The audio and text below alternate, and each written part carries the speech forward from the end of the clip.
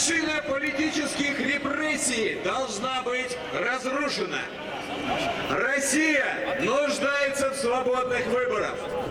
Но никакие выборы не могут быть свободными, пока не разрушен аппарат политических репрессий, пока не зарегистрированы свободные партии. Никаких свободных выборов не будет, пока не будут зарегистрированы партии.